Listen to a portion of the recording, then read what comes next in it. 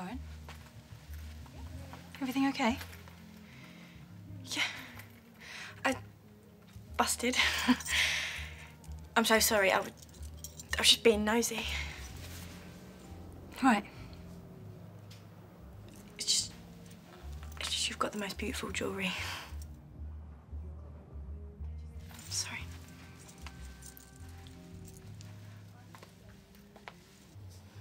You're so lucky. You've got a beautiful house, jewellery, family. It hasn't come easy. You all look so happy together. You should see ours. My mum's gone. My dad's looking for wife number 210.